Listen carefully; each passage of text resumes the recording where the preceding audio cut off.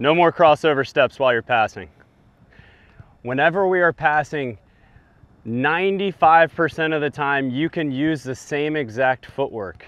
You should be using a big step to the side and then a quick shuffle.